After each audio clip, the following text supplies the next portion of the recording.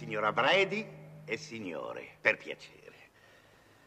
Questo è un genere di brindisi che si fa troppo raramente nella mia famiglia, quindi vi prego di riceverlo con tutti gli onori.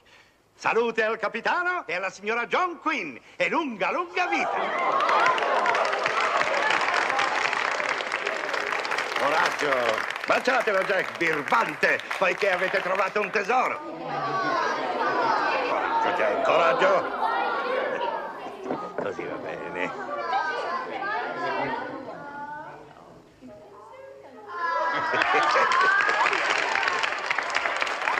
Brindiamo ad una lunga e felice vita Una insieme. lunga e felice vita insieme. Grazie. Grazie, signora Prego. Prego.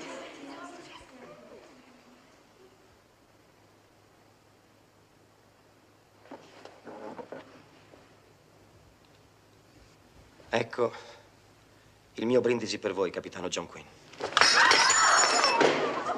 Redmond! Come osi comportarti così in casa mia, signora Brady? Portate fuori i bambini. Capitano Quinn, mio caro amico, siete ferito.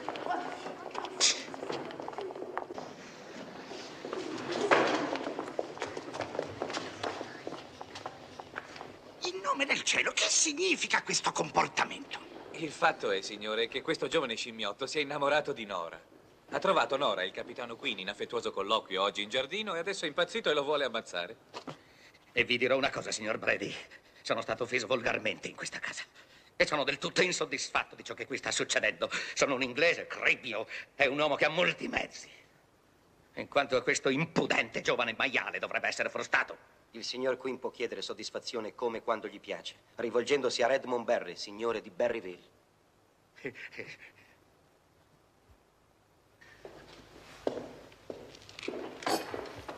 Il ragazzo lo accompagno io.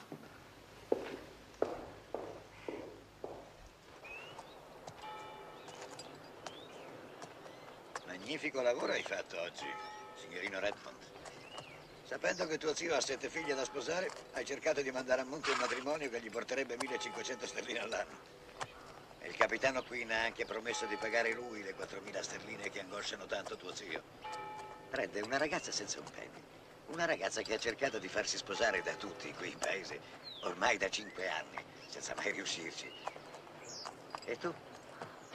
Un ragazzo che dovrebbe essere attaccato a suo zio come a suo padre. Lo sono, infatti.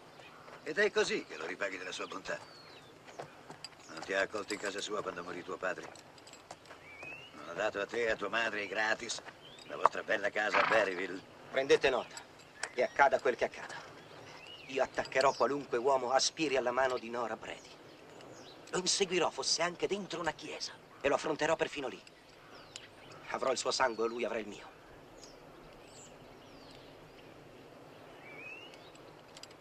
In fede mia ti credo, figliolo. Non ho mai visto un ragazzo più animoso in vita mia.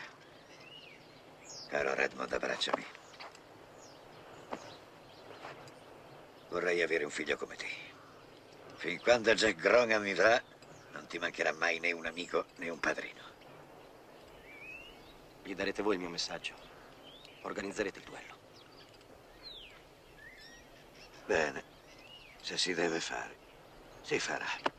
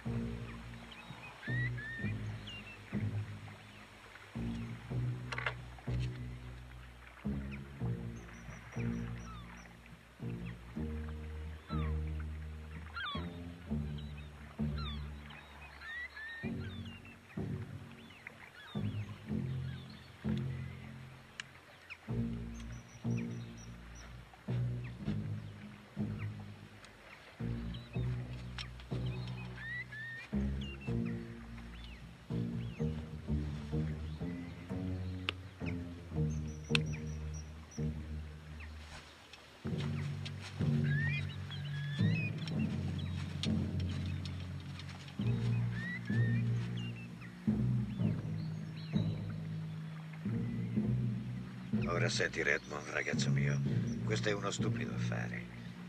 La ragazza sposerà Quinn. È poco ma sicuro.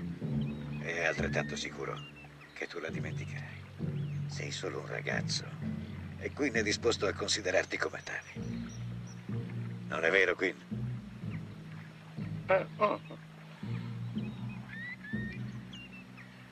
Ora, Dublino è un bel posto.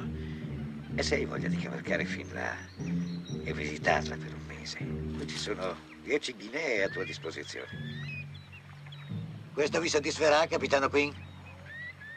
Beh, se il signor Barry chiederà scusa e andrà a Dublino, considererò tutta la questione onorevolmente chiusa. Mm.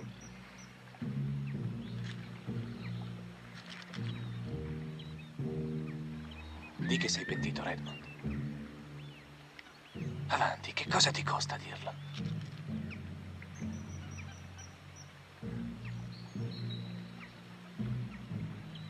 Non sono pentito. E non chiedo affatto scusa. E inoltre, piuttosto che a Dublino vado all'inferno.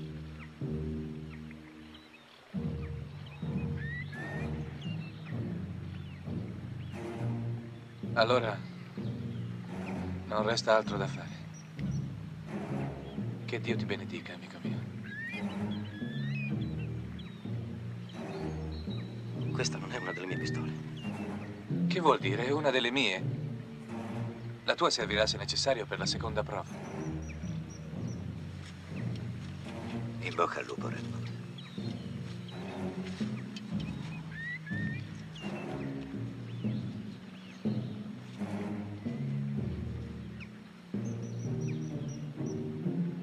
Signori? Armate le pistole.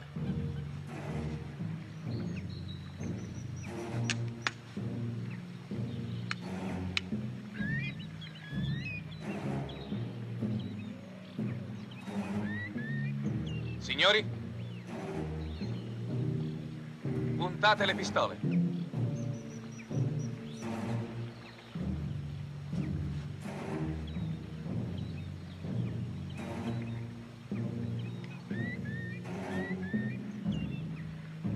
Uno. Due. Tre.